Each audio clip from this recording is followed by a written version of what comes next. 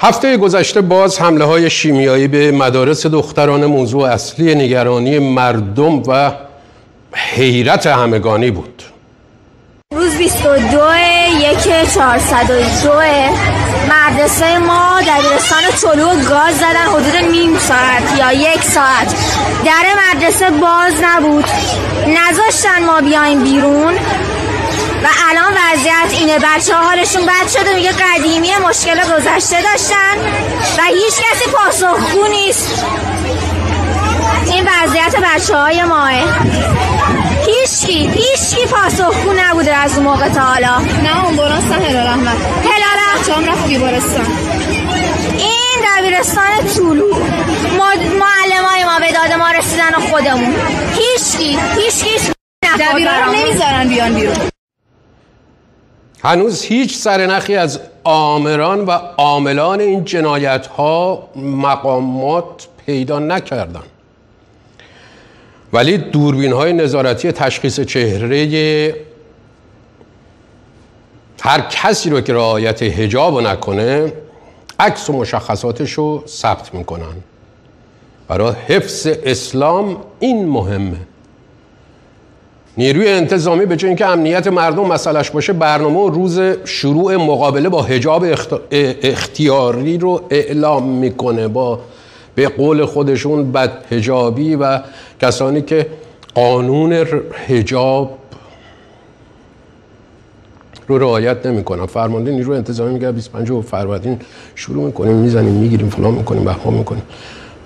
نه دولت نه رهبرش نه پلیس هیچ کدوم مسمومیت های گسترده دانش آموزا رو نمی‌بینن. انگار اصلا وجود نداره. زمستان سال گذشته بعد از بیش از سه ماه که از حمله های شیمیایی به مدارس گذشته بود و به گفته خودشون بیش از پنج هزار دانش آموز در 25 استان و به گفته منابع غیر حکومتی بیش از 13 هزار دانش آموز رو مسموم کرده بودن خامنه ای با گفتن یادتونه دیگه گفت عوامل این چیزی که میگن مسمومیت. گفت اینو شناسایی کنین. بعد از سه ماه و نیم. و با گفتن این در واقع آتش بس داد. از فردا سخنرانی خامنه ای برنامه مفصلی داشتیم. دیگه مسمومیت دخترای دانش آموز در کار نبود. تموم شد. خب همه تردید برطرف شد. ساده ترین ذهن آدمی هم فهمید که کار خود حکومت بوده و سازمان یافته انجام می شده خامنه آتش بس داد دیگه نکردن حالا این بار از حدود ده روز پیش که دوباره گسترده شروع شده همون روز اول دولت بخشنامه داد به رسانه ها که حق انتشار خبر مسمومیت دانش آموزا رو نداریم. ببینیم دیگه. این اطلاعیه دولت به رسانه ها من دیگه نمی‌خوام این مزخرفاتی که نوشته رو تکرار کنم. حق ندارین دیگه منتشر کنین. و خبری هم دیگه منتشر نشد تو این دور جدید. نه در سیمای آقایون نه در هیچ رسانه حکومتی دیگه. ولی دامنه مسمومیت ها باز گسترده است. فقط در روز سهشنبه 22 فروردین به 28 مدرسه دخترانه در 14 استان حمله شیمیایی شد.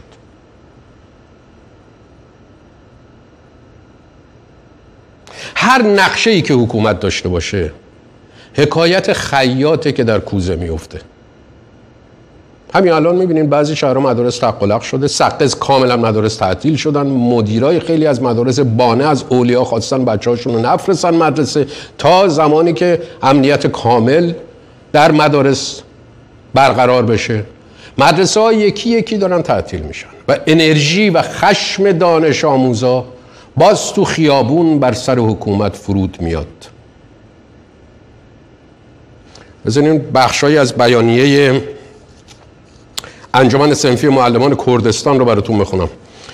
گستردگی تداوم و عدم کنترل و اشراف نهادهای عریض و طویل امنیتی کشور در جریان مسمومیت های سریالی دانش آموزان نشان می‌دهد که حملات جنایت کارانه کودک کشی و مسمومیت دانش آموزان بالاخص در مدارس دخترانه کاملا سیستماتیک و سازماندهی شده در جریان است. سهلنگاری آمدانه نهادهای مربوطه در شناسایی، مجازات و شناساندن عاملان، آمران و آبشخور فکری این جنایات عظیم و سیستماتیک پرسش ها و ابهامات بسیاری در افکار عمومی ایجاد کرده که لازم است حاکمیت که مدعی اشراف اطلاعاتی بر داخل و خارج مرز هاست برای تنویر افکار عمومی اقدام به شفاف سازی و پاسخگویی کند که در غیر آن خشم و انزجار عمومی فراتر و فراگیرتر از قبل آهاد مردم و حتی قشر خاکستری و بیتفاوت جامعه را هم در بر خواهد گرفت.